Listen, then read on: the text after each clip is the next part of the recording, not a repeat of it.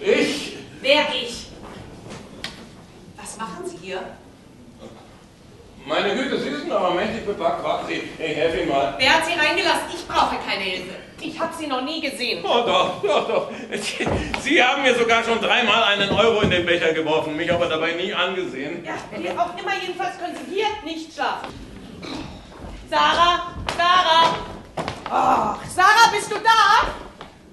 Hey, du könntest wenigstens mal antworten, wenn man dich ruft. Du willst doch nicht etwa rumlaufen wie diese kleinen Lolitas. Die glauben, dass sie schon eine Frau sind, bloß weil sie mal ihren Po zeigen. Mit 15 sollte man seinen Po zeigen. Mit 40 ist es zu spät. Also, was spielen Sie jetzt? Na, pass auf. Ein Jüngling liebt ein Mädchen, die hat einen anderen erwählt. Der andere liebt eine andere und hat sich mit dieser vermählt. Der andere liebt eine andere und hat sich mit dieser vermählt. Ja, kannst ruhig sagen, wenn es dir nicht gefällt. Hey Mann, voll gechillt, außerdem kenne ich den Scheiß. Ja? Ja, Hanne.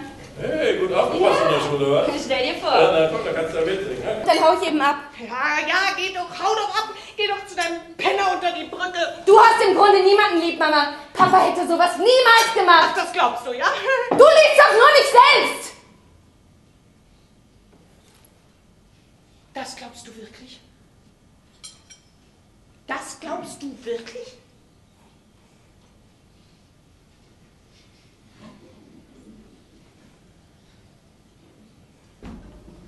Wo gehst du hin, Mama?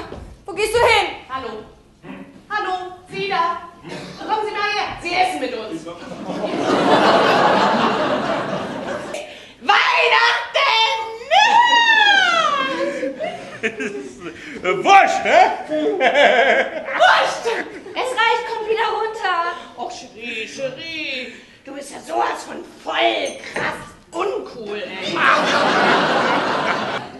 Komm, du weißt doch gar nicht, was es bedeutet, unter einer Brücke zu Na, schlafen. Moment mal, ich doch auch nicht. Ja, aber da werden sie landen, wenn sie so weitermachen. Und ich habe keine Lust, mir ihren Tod auf mein Gewissen zu laden. Wissen Sie was? Ab jetzt werde ich mich um sie kümmern. Ja. Was? Ja. Das Mädchen heiratet aus Ärger den ersten besten Mann. Der hier den Weg gelaufen, der Jüngling ist übel dran. Der hier den Weg gelaufen, der Jüngling Yeah.